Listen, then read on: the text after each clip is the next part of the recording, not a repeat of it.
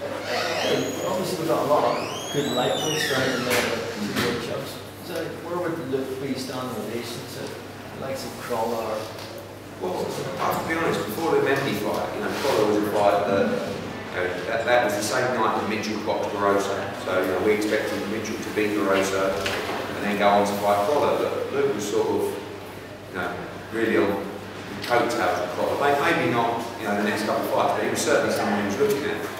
And the Mendy fight just really turned everything upside down. So, performance like that against Gary Sykes, and I know that someone of Luke's calibre, no disrespect to Gary Sykes, should be beating Gary Sykes, but not necessarily like that.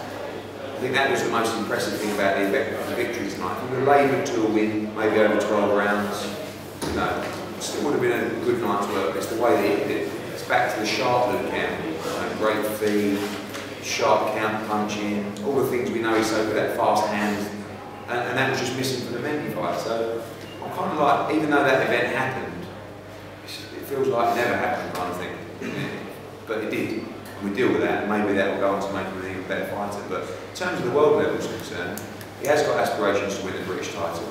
I've definitely got aspirations for him, and I know Borges as well, to rematch him on Mendy. I think that's a good fight for him. I think we need to, at some point, deal with that situation. But I think realistically, in the next, you know, 12 months, I think Campbell will be ready for the world title. But it all depends who the champion. You know, I'm sure he fancies fighting anti you know, soon. But he's working on things. You know, and tonight I expected it to take time. That all the work that he'd done before but it didn't. It happened very quickly.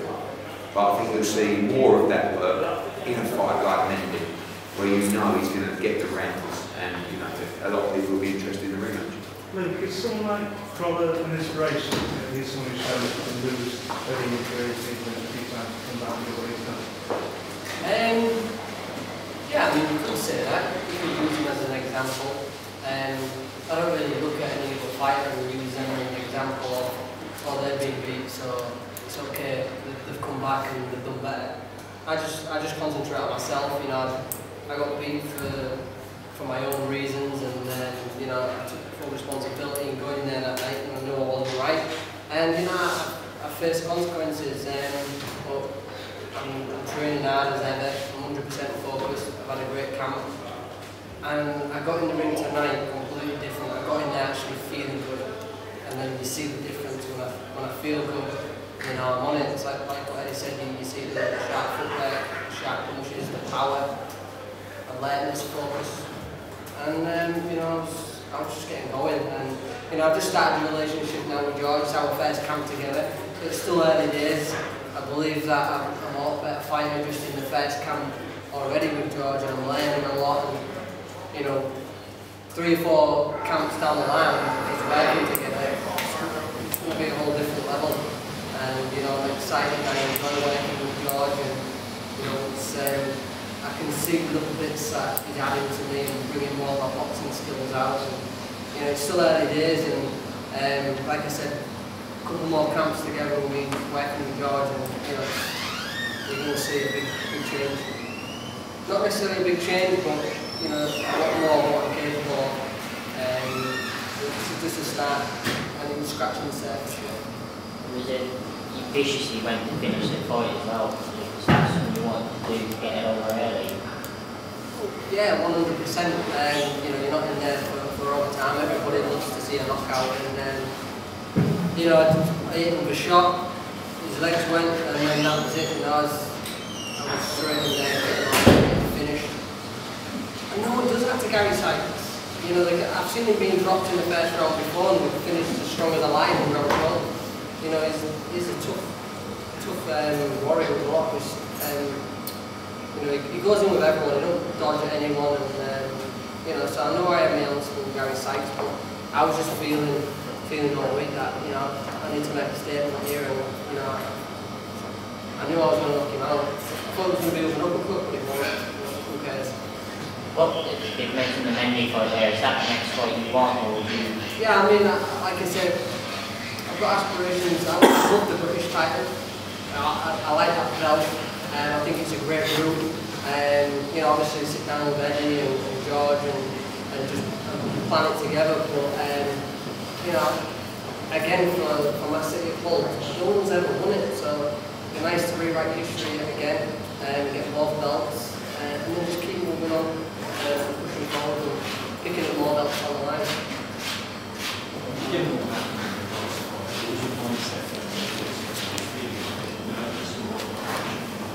Um, yeah, nerves. Of course, nerves. Know, you get nerves every fight, but you need, you need nerves to stay sharp. Um, the difference was going into this fight. I was actually feeling good. You know, I was, I was my body was feeling good. My, I was focused, and I was just feeling good in myself. And that was that makes a whole lot of difference. You know, when you're walking into a fight and your body's aching and you don't feel right and you bit weak and whatever else. And, seen that in the last fight, that just wasn't me. Uh, like I said, but I still decided to go in there and, uh, and let everyone see a full shadow of myself. But you know, that's history. I'm not here for excuses. It's been and gone now. Everything happens for a reason. And um, one or two fights more, no one will mention that because they're going to see a lot more from me. Um, so, yeah, like, yeah, I mean, you know, I took him out one shot, went down, never really recovered from that shot, and you know, the next lot was just uh, getting there. Still smart, 'cause you never know if you, you know, I could walk into a big swing, but you know, I, um, I attacked the body when I went back in and back up to the end, and um, just stayed on him, not, not let him off the leash. He said, he said next week. Kel said the same thing. What, what? Is anything in Leeds? Uh, in the spaces?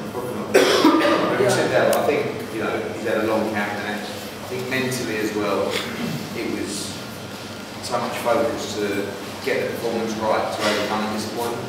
Top of my head, I'm thinking sort of June time. I mean, you know, it's, it's probably a week or two off and then straight back. yeah, yeah, that's it. Uh, Um, got these holidays, mate, so, you know, there's, uh, there's, there's no planned. Um, I'd like to go back to Hull. yeah. No, and, and I think Tommy, Tommy's fighting on May the seventh in a sort of, you know, bit of a tune-up fight, and he's going to be wanting to slump straight in the deep end as well. So these two had a good little double act going there for a while. You know, no, I'm not talking about fighting Tommy. No, Okay. no I'm just saying. Oh, but, I'm but, kidding. but, but Tommy will be ready for a fight as well. You know, a decent fight. We had some good nights there, so Stephen British title fight. possibly, yeah. I mean, it's- Scott Cardle's got a really tough fight next week against Sean Dodd.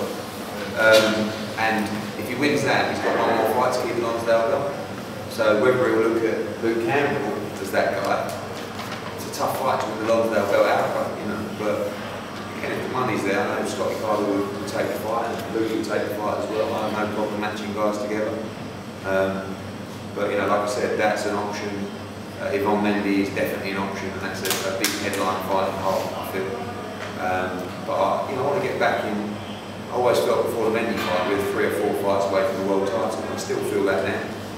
So we never really had aspirations to win the British before. Maybe we were looking a little bit too far ahead, you know, because we were thinking about world titles, and you know, now we just sort of, right, we've got the Commonwealth title, maybe we win the British, maybe we win the European, and then you know, push towards the world title probably this time next year. I mean, I like, the. I like the idea of the British. I like the idea that the, the British fighting fans can get involved in it. You know, you know, they know both both sides of the fights and with respect the atmosphere. You know, when I watched Tommy Coyle and all everybody, all the British boxing fans was really buzzing about it. You know, and that's that's what really gets gets me for it. You know, but you know, whatever Eddie says and George says, I'll, I'll do whatever they tell me to do. You feel a little frustrated, it's taking a little longer. People are getting rushed to big fights much earlier in their careers these days. You don't feel impatient and you want to take your pace. Yeah, I mean, you know, well, I believe in the team around me, um, Eddie, George, you know, so whatever they say, I'm, I'm with them 100%, whether if they think it's time for me to, to do it, then it's time for me to do it. And, you know, I trust them, that they believe in me and think it's the right time, then it's the right time. I think fighters these days, especially with social media, and I mean Anthony's a good example as well, Joshua, you know, and then you're in the same boat as well where, especially with Olympic gold back, fans almost aren't happy enough to see you slowly progress. They want to see you jump straight into the deep end. Actually, if I'm in, it was a fight he should have won. Really, that wasn't really the gamble that we were taking. That was just a bad night. But I think all fighters now are under pressure to step up more and more every time because people are having their platform to speak a lot more. You know, You've got two near novices fighting for the world heavyweight title. yeah, but you know, I mean, Luke, Luke really could go, could fight for the world, could fight for the world title in two fights. You know, is he ready for that? You know, but it's, it's the opportunity at the time. You know, Anthony has got a fight where for getting the world heavyweight title, it's a fight he can. Hopefully, will. It's the fight rather than the title. But I think now, fans, broadcasters, media, they want fighters to progress quicker than probably ever